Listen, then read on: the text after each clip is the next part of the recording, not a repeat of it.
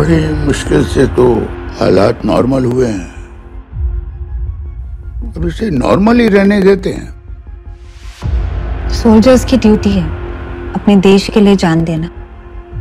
अपने मिशन को आखिरी हद वेलकम टू माय चैनल और आज हम बात करने वाले हैं बहुत ही सुर्खियों में रहने वाली मूवी बॉर्डर टू चलिए इससे पहले कि मैं आपको इस मूवी के बारे में कुछ बताऊँ इसके इसके स्टार कास्ट में बताता हूँ। इसमें अभी लीड रोल में Sunny Deol and Ayushmann Khurana.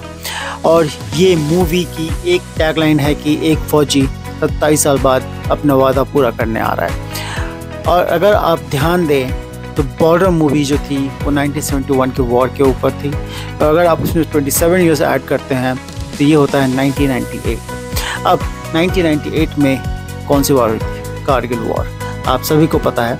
So so, अब आप समझ सकते हैं कि ये मूवी कारगिल वॉर के ऊपर है और डेफिनेटली इस मूवी में सनी देओल को रखा गया है क्योंकि बॉर्डर में वो थे और उसी बॉर्डर को बनाते हुए बॉर्डर टू इन्होंने बनाया है और उनको इस रोल में रखा है क्योंकि वो परफेक्टली सूट कर रहे थे बॉर्डर में।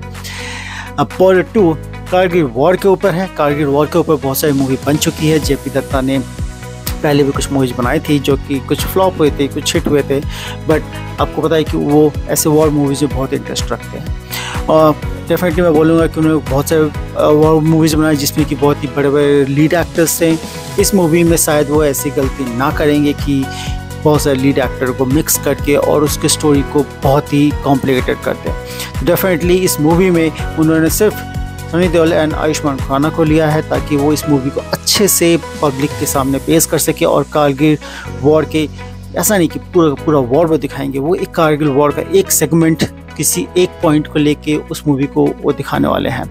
डेफिनेटली ये मूवी किसी न किसी शहीद के ऊपर बनाया जा रहा होगा बट ये मूवी ज़रूर देखने लायक होगी। इस मूवी की रिलीज़ डेट है ट्वेंटी थर्ड जनवरी 2026 ये तो कंफर्म है और इस मूवी की शूटिंग अभी तक चालू नहीं हुई है। ये मूवी की शूटिंग अक्टूबर 2024 में चालू हो चालू होने वाली है। इसलिए इस मूवी की पूरी पूरी कास्ट अभी तक फाइनलाइज नहीं हुई है। बट ये है कि इसमें सनी देओल एंड आयुष्मान खुराना तो फाइनल है। चलिए वेट करेंगे अभी हम आगे कि इसका ट्रेलर कब रिलीज़ हो। इस मूवी कोई ट्रेलर अभी तक मार्केट में नहीं आई है। और आप जो भी ट्रेलर अभी देख रहे हैं, वो सिर्फ़ इसको एक वॉर मूवी बताने के लिए ट्रेलर चल रही है। थैंक यू सो मच ऐसे फॉलो करते रहिएगा मेरे चैनल को।